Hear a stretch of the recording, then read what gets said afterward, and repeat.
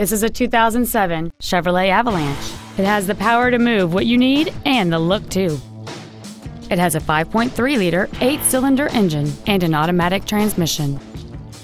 All of the following features are included a sunroof, cruise control, steering wheel mounted controls, an in dash CD changer, latch ready child seat anchors, active fuel management, fog lamps, a stability control system, a keyless entry system, and this vehicle has less than 73,000 miles.